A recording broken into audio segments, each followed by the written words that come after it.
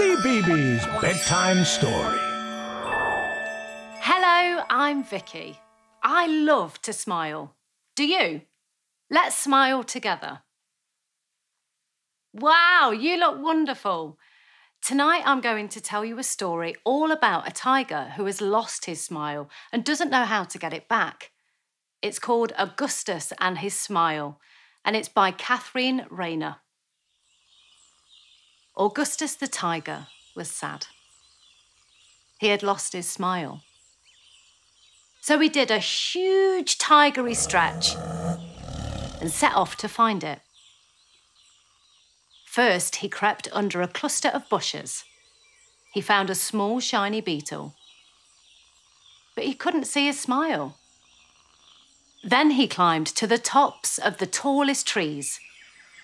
He found birds that chirped and called, but he couldn't find his smile. Further and further, Augustus searched.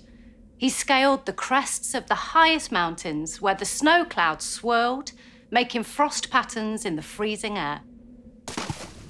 He swam to the bottom of the deepest oceans and splished and splashed with shoals of tiny, shiny fish.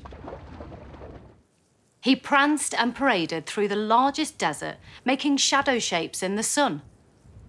Augustus padded further and further through shifting sand until pitter, patter, pitter, patter, drip, drop, plop.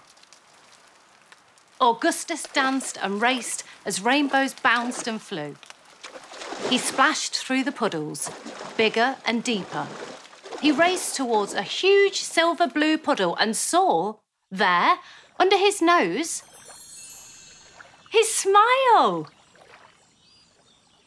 And Augustus realised that his smile would be there whenever he was happy.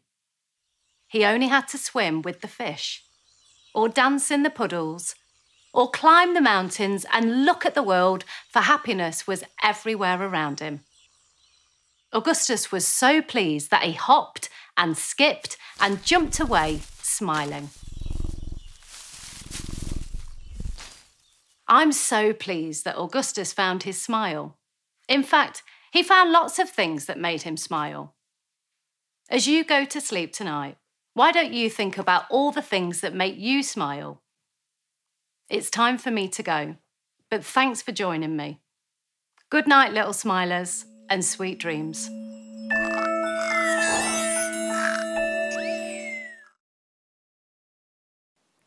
For more bedtime stories, head to CBeebies or BBC iPlayer.